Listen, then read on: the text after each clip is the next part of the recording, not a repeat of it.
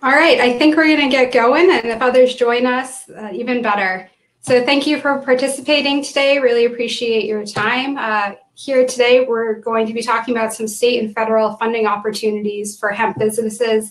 That includes whether you're a hemp farmer or whether you're a CBD processor or extractor, or potentially even a CBD retail business a little bit about myself and my co-presenter. My name is Michelle Bodian. I'm a senior associate attorney in the hemp and cannabinoid practice group uh, with my law firm Vicente Sederberg. And my co-host is Eric Steenstra, who is the president of Vote Hemp. Um, a little background on where we come from and you know what we do in the space. Uh, my background, I was with the Massachusetts Department of Agricultural Resources for about five years. Prior to that, I was employed as a private sector attorney with a law firm. But my time in government service in Massachusetts really gave me some insights into how the government procurement process works. We'll talk about that later, some tips and tricks. Uh, I've been working in this hemp and cannabinoid space for a few years now, advising primarily hemp and CBD clients on the complex and interconnected federal, state, and local regulatory framework. Eric has been in this hemp industry for, I don't want to age you there, but God knows how long. You've been involved practically since the beginning. Um, you know, co-founding a hemp clothing and lifestyle brand, and then a founding member of HIA, the Hemp Industries Association, and you serve from, as executive director for several years. And you now, in your current role, are president of Vote Hemp, which is most if not everyone in this hemp space knows, it's a political advocacy organization. You co-founded it in the year 2000. Um, and you're also the vice president of the California Hemp Council. You speak all over the country on so many platforms, um, you know, print media, digital. You've been featured in CNN, New York Times, uh, Rolling Stone, Forbes, you know, just to name a few. I could keep going. Uh, but really excited to have you join me today on this panel. I think we're going to be able to share a lot of really important information. Really appreciate your time. Um, the lawyer in me needs to give a disclaimer about the information we're about to share in general. Uh, always double check your eligibility. You know, grants and loans, the criteria can change at a moment's notice. Just because you're eligible when we put these slides together does not mean you're going to be eligible, uh, you know, when you do go to apply. This is just general information. Like I said, please confirm before you apply for anything. Reach out to Eric and I. We're here to answer any questions, any follow-ups. Um, so yeah, let's get going. I'm going to turn it over to Eric to do just kind of an overview of the general legal status of hemp before we dive into some particulars. Thanks, Michelle. Uh, great to be here with you today. And thanks to everybody for joining. And uh, uh, yeah, I'll dive right in. We're going to start with just a brief background on uh, status of uh, of industrial hemp.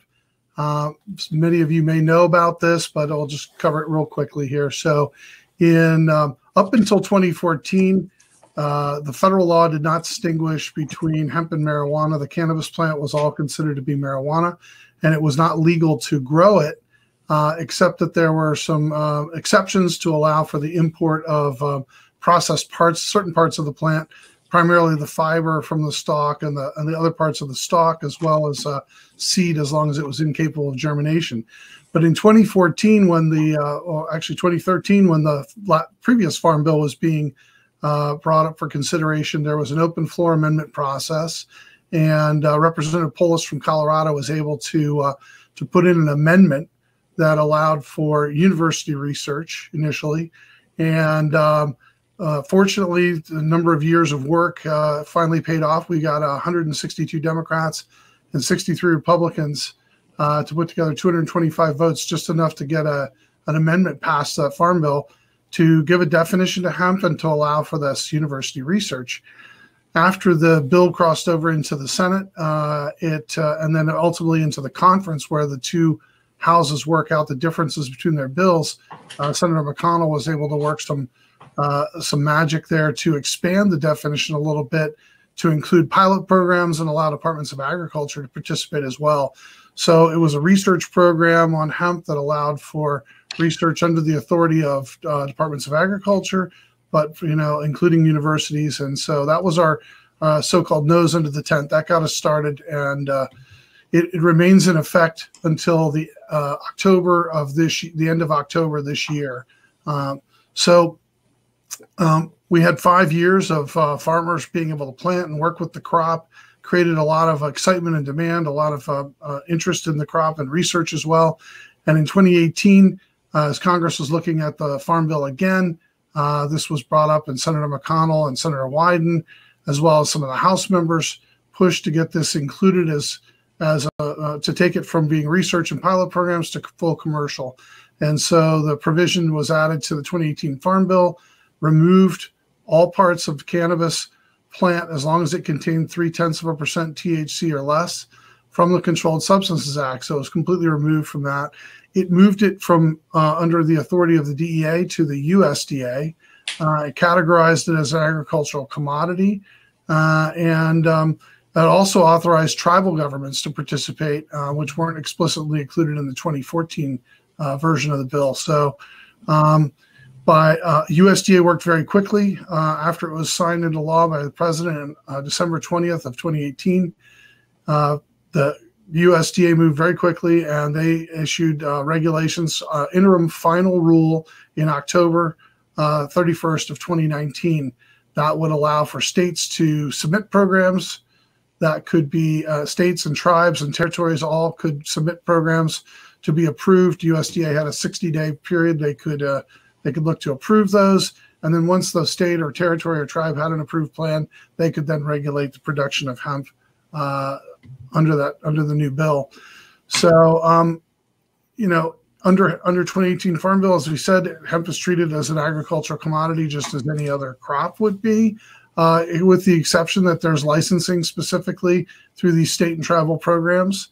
Um, so, uh, one of the most important provisions lies in section uh, 101. Uh, it includes some specific uh, protections for farmers under the Federal Crop Insurance Act.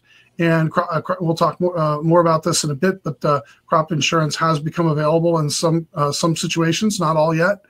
And uh, in addition, uh, hemp businesses are now eligible for federal, state, and local, funding opportunities. This has been a huge shift for us. So at this point, I'll turn it over to Michelle. She can take it and talk a little bit more about some specific uh, opportunities.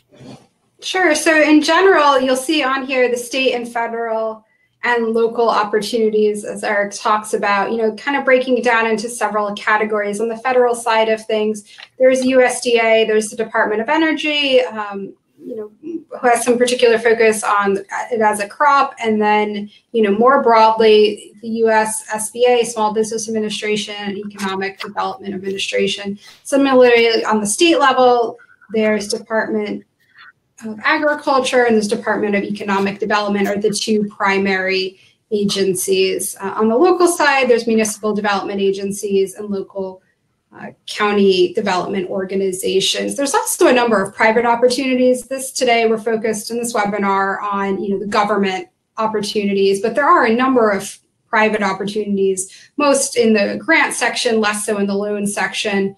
But some of those would be, you know, county farm bureaus or other technology and innovation uh, opportunities. Those really are driven by the private sector. Here today, we're going to talk briefly on a couple of states, Colorado, New York, Massachusetts, but in general, if you're looking for opportunities in the state where you're located at the state level or local level, you know, flip back to this slide uh, at the end. You'll all get a copy, and you can really, you know, use this slide as the guide of where to start looking if you're looking for an opportunity, and really encourage you to reach out to these uh, people if you don't see anyone any grants that are obvious or loans. You can reach out and ask if there's any opportunities or if there are any coming up soon.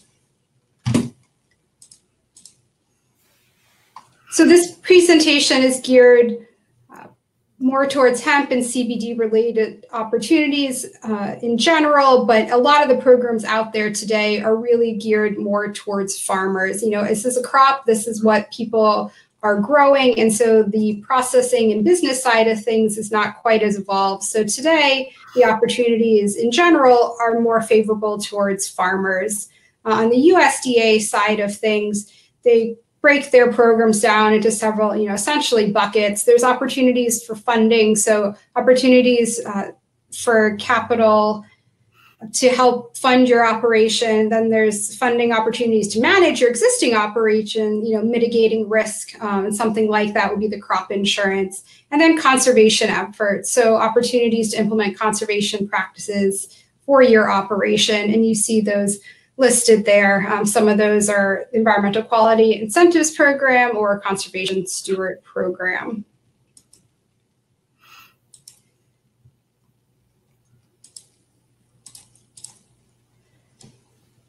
Sorry, technical. Got a, too many uh, screens open. So then at the Federal Small Business Administration, there are a number of uh, specific loans just generally that are always available, 7A and 504 loan guaranteeing programs. And then there are some very specific COVID-19 uh, protection programs such as paycheck protection or economic injury disaster loans. You know, a lot of these you've been seeing press in the news today, and hemp businesses are eligible for those types of opportunities. At the state level, uh, there are a variety of programs, organic cost share, farm energy discount. You know, if you're a younger beginning or new farmer, there's young farmer grant programs or general conservation programs, similar to the ones available at the federal level with USDA. But these are all programs to help launch, develop, or, or expand a business. And then at the local level, they're primarily tax credits, um, so opportunities to get relief from various local taxes or potentially state taxes, and then some community development loans. At the really hyper local level, the organizations are looking to attract businesses to their town and their community. So they are very willing to work with you to try to see what financial incentives can be offered to bring your operation to their town.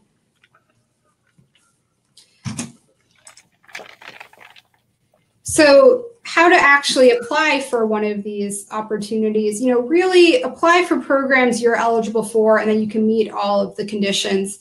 The information that they're soliciting is very detailed oftentimes. and you really want to read through anything before spending your time to apply. You know, financial assistance is out there, grants, loans, like we said, federal, state, local, there's money out there and opportunities, but that doesn't mean it's as simple as, you know, filling out a quick one page application and then waiting six weeks and getting your money. These are competitive processes and it does take time and effort on your part to apply and hope that you get these opportunities. And then the timing of it, if you're in a financial bind or you need the money quickly, these potentially are not programs for you. It's really best to be applying for these grant and loan opportunities when you have time to wait. Um, not necessarily time to waste, but at least time to wait uh, because these will not be processed quickly. You remember these are government agencies, whether it's the state, federal, local government, uh, especially now when most people are working from home and there's time delays. So it can take a while between the time you see a posting you apply, they process your application and receive a decision to the point where you actually receive the funding, you know, this could take months. We're not talking weeks and we're certainly not talking days. So really make sure that you've budgeted and planned for the fact that you might not hear for a number of months. And like I said, program eligibility, it's very detailed what you're applying for, and that can change. Deadlines can change, they can be extended, they can be moved up. You really need to monitor the information closely to make sure you're applying for accurate information and that they're able to process uh, your application for the grant or loan. One tool that's out there to really help you as you're going through this process, uh, all government agencies are subject to some type of Freedom of Information Act or public records law that enables you as a member of the public to ask for and receive records if you're applying for a grant or a loan that you know has been in existence for at least one year if not five ten years that means they've had applications. They've awarded these programs to other applicants in years past. If you have the time and you think one's coming you know ask these government agencies to provide you past applications. You could see how others framed it. You could see how they had attachments. You can see who won it. You could see the scoring criteria. There's a wealth of information that's you're entitled to for nominal cost. They usually charge for photocopying or their time, but you can just get so much valuable information by asking these agencies to provide the information that they had uh, you know, used or relied upon in past years. In general, when you're applying, make sure you provide all of the required information. Always read the fine print. Is a hard copy required? Do you need to submit electronic and hard copy? Do you need three copies? Just in general, make sure you understand what is required and that you can really deliver the necessary information ask questions of the person submit, uh, providing the grant and loan. You know, ask the Department of Agriculture if something's unclear. There's always a contact information listed. Oftentimes there's a question and answer section or question frequently asked questions will be posted to the grant or loan page. You know, really engage in the process and make sure you understand what's being asked of you. And then obviously it's in, you know, bold print there. Make sure you apply on time. If you miss a deadline, even by minutes, especially if it's electronic submission, you'll be locked out. They won't even consider your application. Remember, this is a competitive process, and others who have gotten in on time, they'll be the ones being considered. So make sure you understand the deadline. Is it postmarked by 5 p.m.? Is it received by 5 p.m.? Is an electronic de- deadline, but a paper copy must also be received. You need to really make sure you understand what the deadline is and make sure you can comply with it. Also, as I said, be aware deadlines can change. Most often they're pushed out, they're very rarely moved forward, but make sure you understand what that deadline is. Then, in general, write clearly. The people reviewing the material are ordinary people trying to do their job. So, the easier you make it for them, the better. Typed application with visuals, if it's appropriate, or easiest to read, something that allows the regulators to quickly skim the application. Make sure you're asking, answering the question that was asked or the prompt.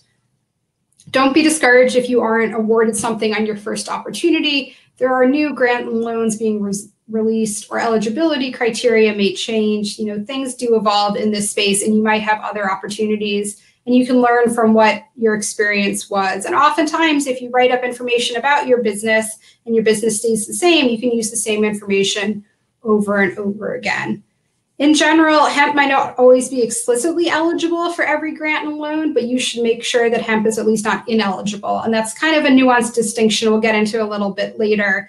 There are very few grants out there today that are 100% geared towards hemp. Most often, as Eric said, this is now an agricultural commodity. So hemp is a crop that would be eligible to apply for this, like any other crop being grown or any other business. Now to get into some actual programs, which I'm sure what you're most interested in hearing about. I'm going to turn it back over to Eric to get into some specific programs. Thanks, Michelle. Yeah, so um, we'll start talking about a few of the programs that are out there that are available. Um, one uh, one option with the USDA is loans for farm ownership or or redevelopment. So um, these are loans that uh, that can can be accessed to purchase farmland, to construct or repair buildings, to um, even to do things like promoting soil conservation, soil and water conservation, uh, or to refinance debt on an existing farm. So there's a variety of uh, of options there. You need to look at the specific uh, you know programs to find out more details on these. But uh, generally uh, these are available to anyone that's uh, you know farming. And and the critical thing and uh, that we need to note obviously with hemp is that you've got to show that uh, you're fully uh, licensed. Uh, you have to have a state license and and document that you've gone through all the correct processes and that you're following all the regulations and within in requirements for that. So um, there's also farm operating loans. Those can be used to again to purchase equipment livestock chemicals, fuel, insurance, any kind of operating expenses that you might have on a, on a farm. Uh, uh, you can use them to pay for minor improvements. Uh, family living expenses even can be covered, uh, and, and again, refinancing debt. So um, these can be structured loans or also as lines of credit, depending on the purpose and intended term of the loan. So those are uh, there's a lot lot there.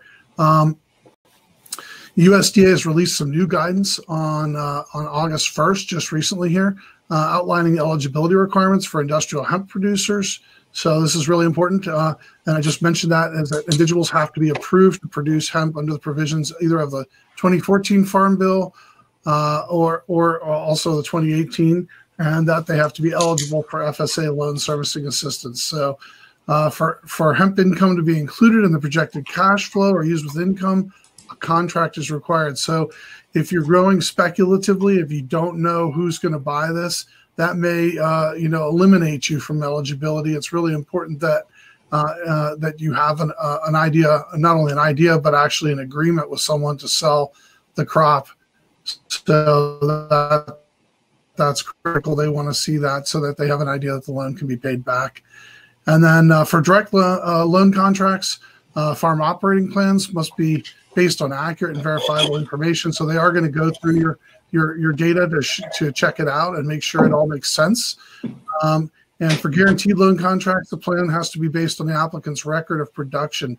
Some people don't have much of a record with this yet, so that could be a challenge. But uh, they're ideally going to want to see some history, uh, you know, and a proven record of financial management. If you're an existing farmer or have had this business for a while, that helps uh, significantly to show that you have the ability to uh, manage this and that you're going to be a, a good uh, you know, a borrower that will hopefully be able to pay back the loan.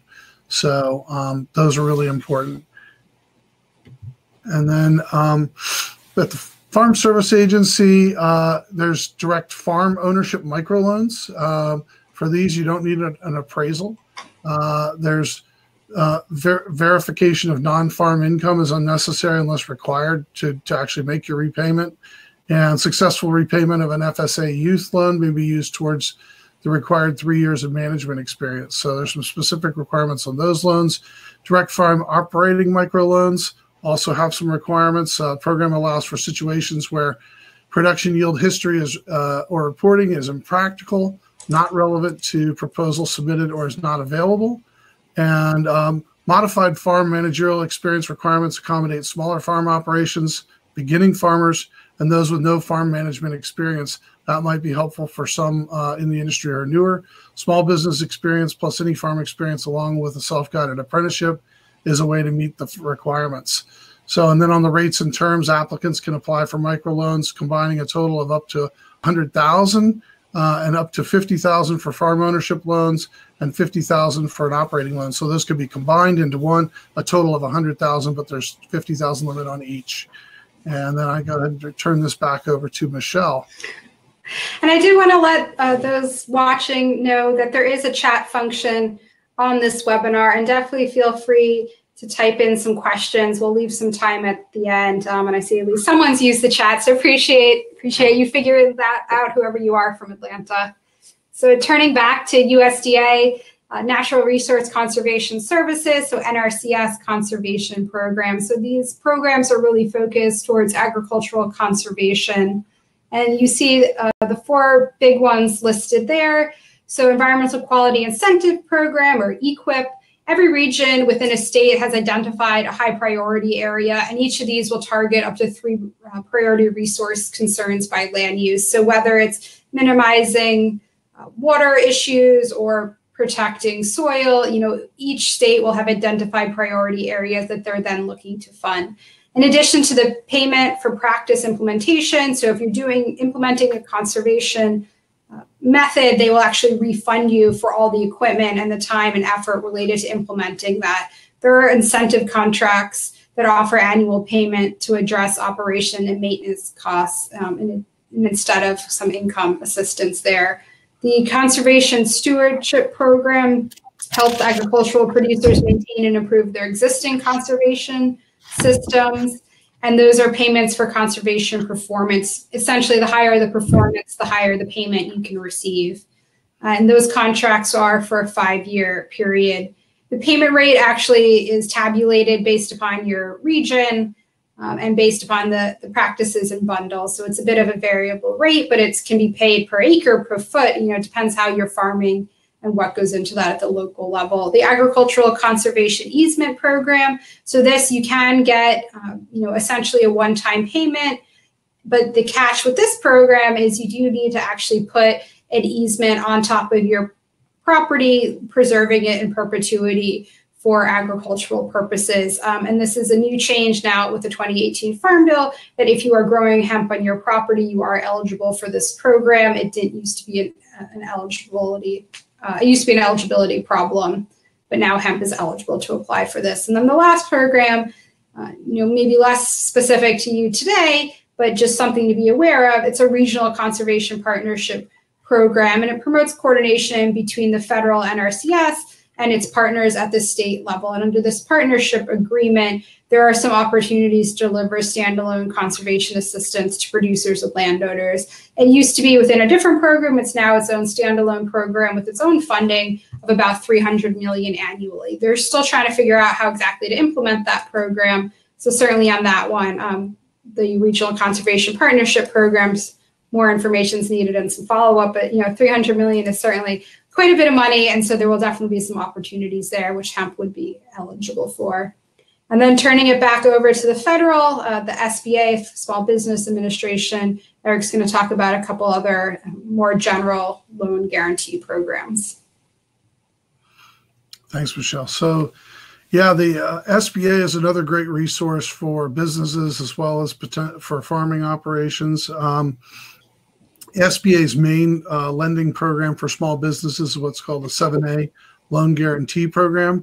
Uh, and they work with uh, banks on that and essentially help to guarantee the loans and give banks the ability to make these loans. The maximum loan amount uh, they can do in those types of loans is $5 million.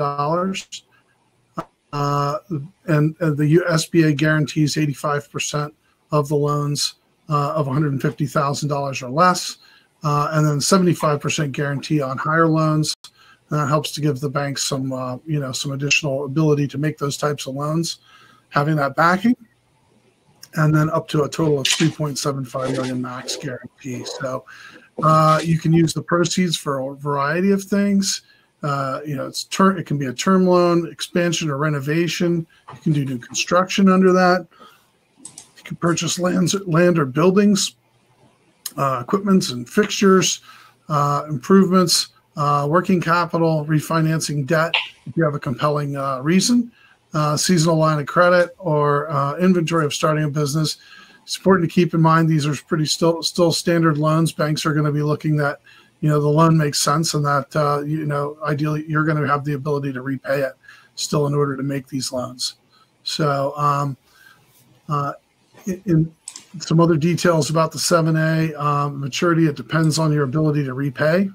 Um, generally, working capital and machinery uh, not to exceed the life of the equipment. So typically five to 10 year term. And then real estate, you can obviously get longer terms. Um, and uh, those loans, because they're obviously backed by a, by a piece of uh, property there. So uh, interest rates are, are favorable. Um, so on loans of less than seven years, you can see that the rates go down depending on the uh, the uh, the total, but it's prime plus uh, you know two and a quarter up to four and a quarter. So those are those are decent rates on on business lending, and then for longer loans, you've got options as well that are uh, slightly higher interest rates, and then uh, no no SBA fees on loans of 150,000 or less uh, was approved in in 2014. Uh, the fee charged on guaranteed portion of the loan only um, so 150 to 700,000, there's a 3% fee. And then uh, 700,000 to a million, it's a 3.5% fee. Uh, in addition, there's a 3.75 on guarantee portion over a million. So for the larger loans, uh, and there's some ongoing fees, but you definitely want to consult with a banker about this to, to confirm any of these details.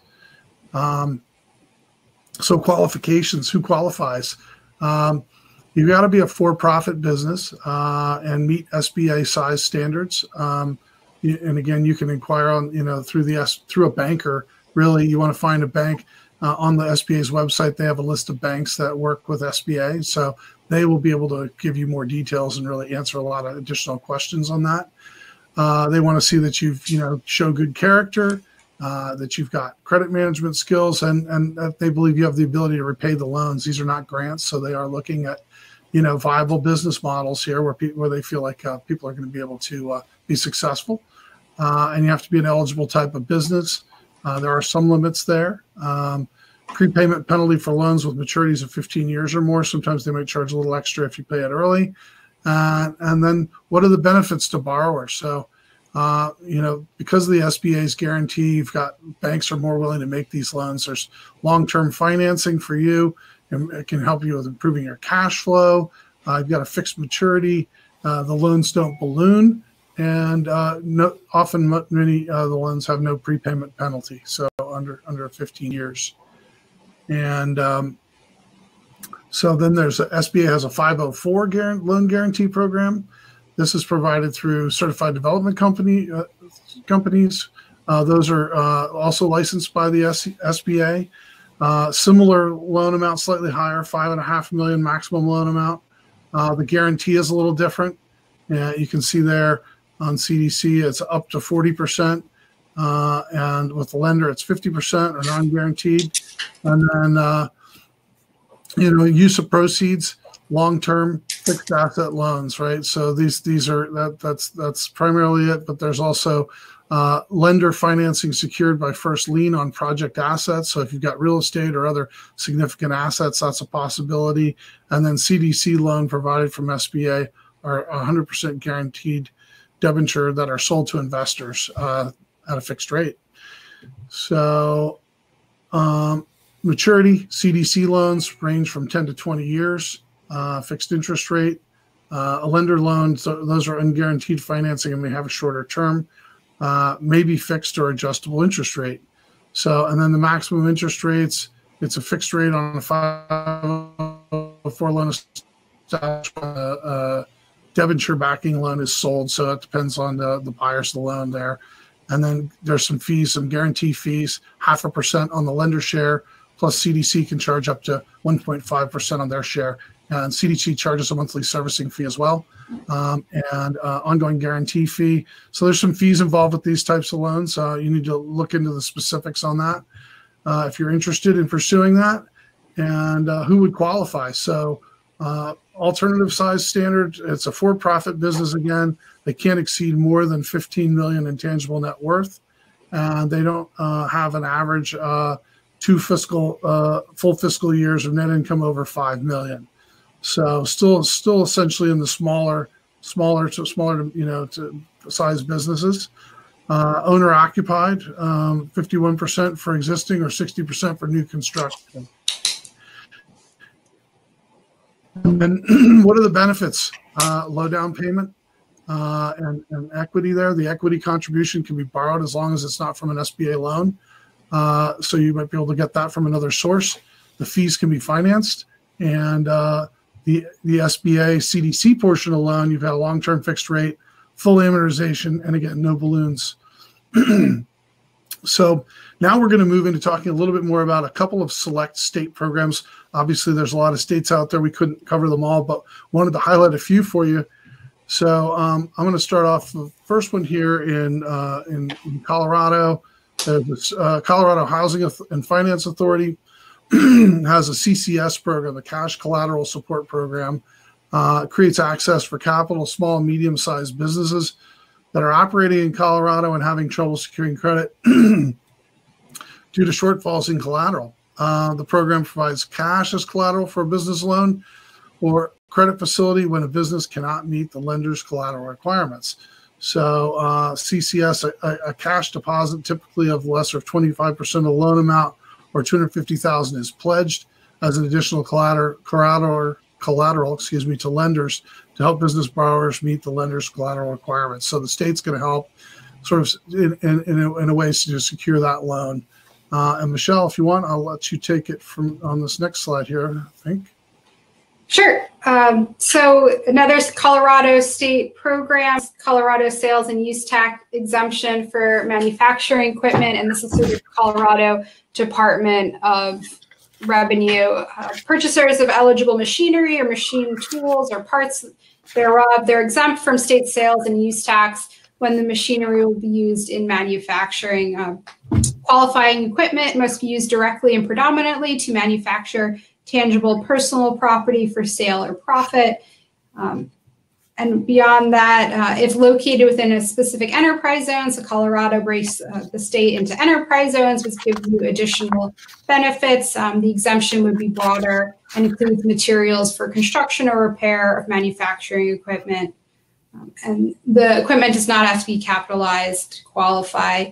To claim this exemption, uh, there's a particular form, a sales tax exemption on purchases and machinery, machine tools form, uh, cleverly titled, and you can be able to fill that out as directed. Then there is also the Colorado Strategic Fund Grant Program, and that's through the Colorado Office of Economic Development and International Trade. The program offers performance-based incentive, uh, incentivizes commitment to eligible businesses, making a significant capital investment that creates new and full-time permanent jobs, paying at or above the average county wage. Uh, that cash incentive can range from about 2000 to 5000 uh, per net new full-time job created based on average wage. So this program, actually both these programs, if you're on the processing manufacturing side of the hemp industry and you're located in Colorado, these would be some great opportunities to look into. A lot of states have similar programs. So just because you're not located in Colorado, certainly look into, as I said back in that beginning slide, Office of Economic Development or Trade, or your local Department of Revenue might have similar opportunities in whichever state you're located.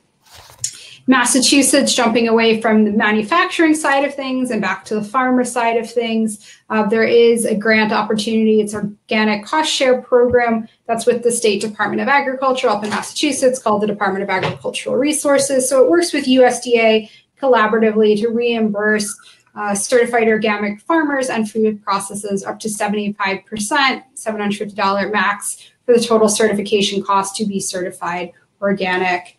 Um, and you see um, farmers must be inspected and certified in order to receive these funds. Organic operations certified for crops, wild crops, and handlers. Operations can receive, uh, you know, one reimbursement per certificate or category.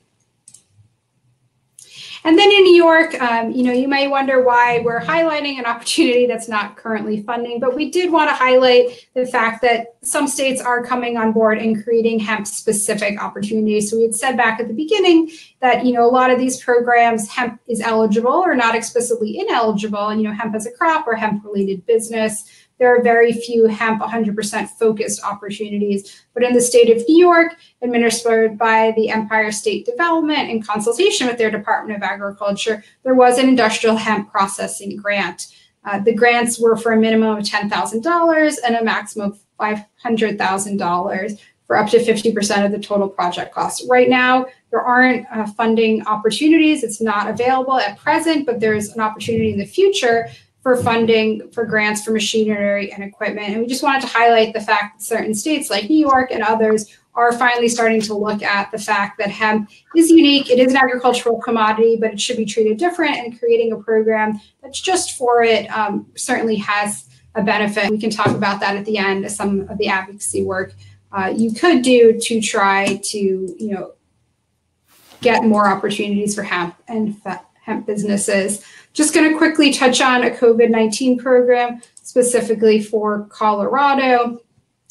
Uh, it's the Energize Colorado Gap Fund. Energize Colorado is a nonprofit. You know, we've been focusing on government agency opportunities. Just wanted to highlight one nonprofit that's trying to bring a diverse professional community together to support small businesses and specifically helping them recover from the impact of COVID 19. And you can see some of the eligibility criteria there. Similarly, in California, there's a California Disaster Relief Loan Program administered Small Business Finance Center, California's Infrastructure and Economic Development MIG. Bit of a mouthful there, uh, but it is a great program. It's a guarantee program that provides guarantees for loans up to 50,000 for small business borrowers in declared disasters. There's a couple of qualifying criteria. We've heard at this time, um, they may not be willing to make general loans to cannabis or cannabis ancillary companies. Uh, you know, unclear if hemp would qualify there as cannabis related. For the most part, hemp is treated completely different from cannabis, meaning marijuana, but you'd always want to double check your eligibility criteria before applying for anything. And I just want to hand that back over to Eric to highlight at the you know advocacy level what's been going on with these federal covid-19 programs and hemp specifically.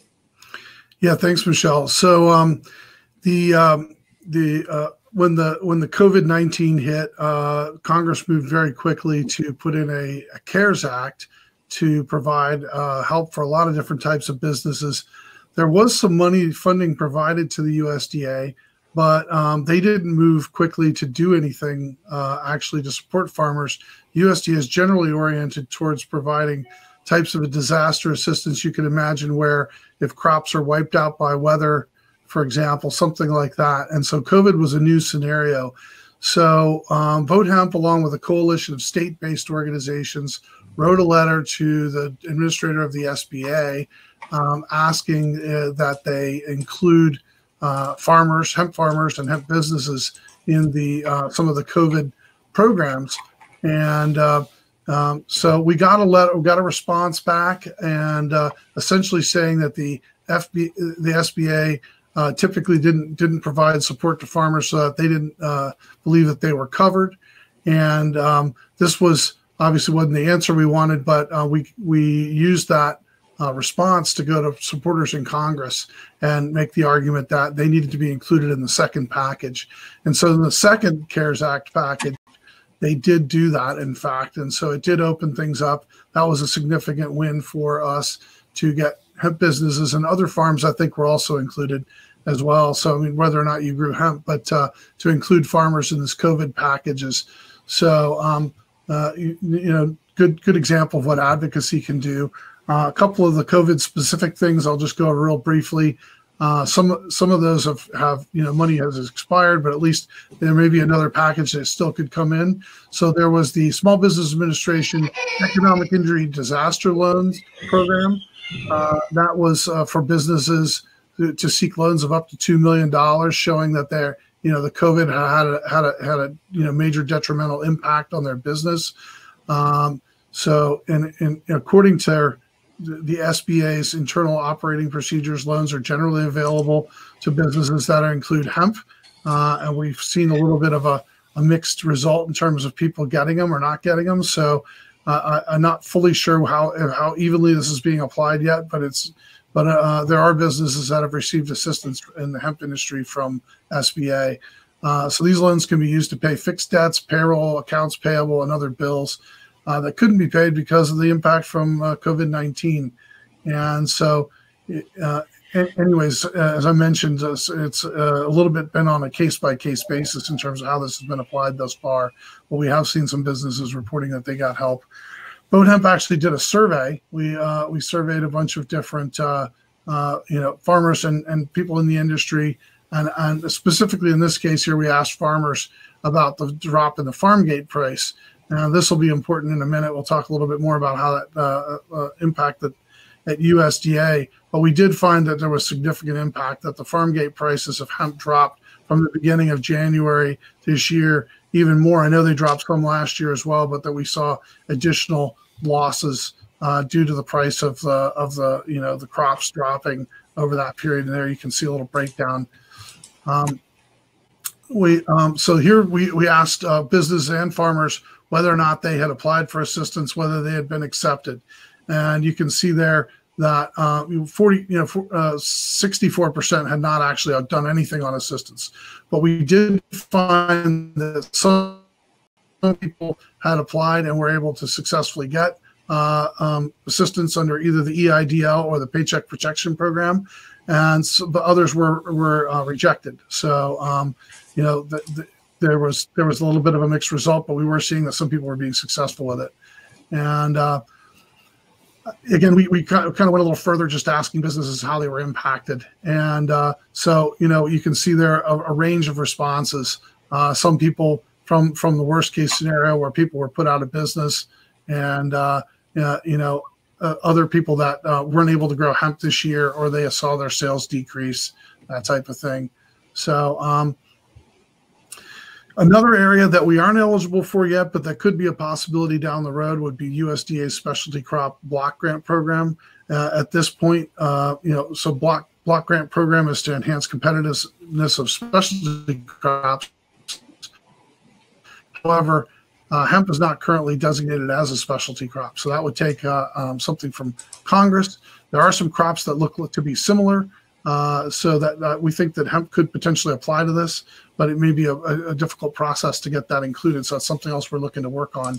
And um, if it, if hemp was designated as a specialty crop, it would open up some significant additional programs, funding, and that type of thing. So um, we're pretty short on time here, so I want to open it up for questions in a second. So I'll, I'll try to finish up here. Um, we also, uh, as I mentioned, the US uh, USDA did have some money as well. They had a coronavirus food assistance program. Unfortunately, they made a determination fairly early that they decided that hemp was not going to be eligible. They claimed that the price of hemp had not declined uh, more than 5% between January and April. Uh, obviously, we had a different point of view on that. As I showed you from our, our brief survey, showed that that surely was not the case, that it did decline significantly. But uh, that's where we are right now is that that CFAP program is not available to hemp because of USDA's conclusion.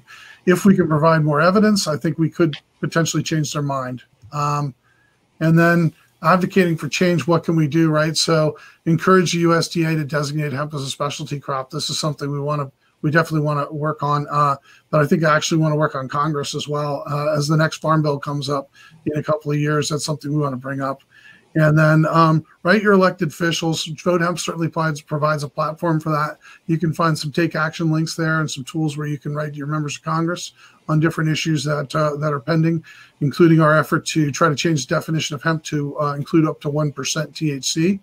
And uh, you can advocate for hemp-specific grants and loans, both with within USDA and the SBA, as well as with your member of Congress. And so, at this point, we'd like to go ahead and open it up for questions. Um, Michelle, if you want to take the lead, I see we have a few already in the chat area, and anybody else with questions, please post those to the chat area, and we will try our best to get to everybody. Sure, absolutely. So it looks like we got a question on whether hemp education would fit under any of these program. And P.S. Hi, Eric, uh, from that commenter. So it looks like uh, education wouldn't necessarily fit under the least the ones we've touched on today but and this is going to be an infuriating answer I, am sure but you really have to check the eligibility criteria of each and every uh, grant or loan opportunity to see whether or not you could fit under that uh, program.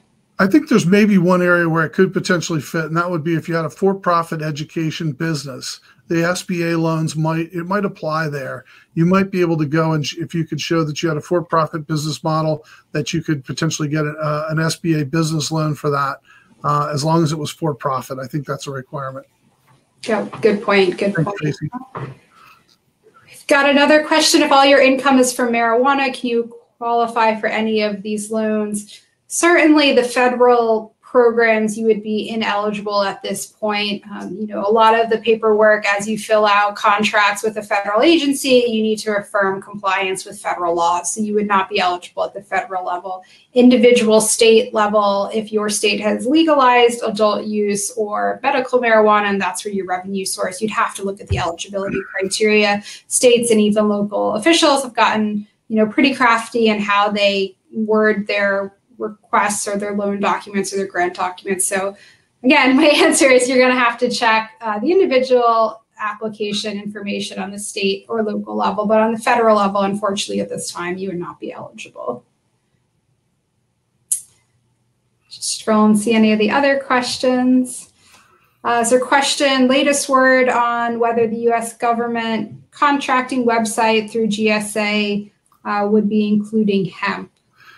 You know, I don't know specifically whether GSA has opportunities related to hemp. I think there are federal business, op- you know, the Federal Business Opportunities website post contract opportunities, and if they had something where hemp applied, let's say if you were selling hemp rope and they had an application with the Navy that needed hemp rope, you could potentially sell that. Uh, you know, and there's there's other things too that we didn't get into today. USDA has a thing called the Bio Preferred Program, and there is government purchasing preferences applied to products that are made uh, primarily from natural uh, materials. I think it's like a minimum of 80% or 85% natural materials, and those can get preferences as, uh, from government contracting. So there may be other opportunities there. Thanks, Eric.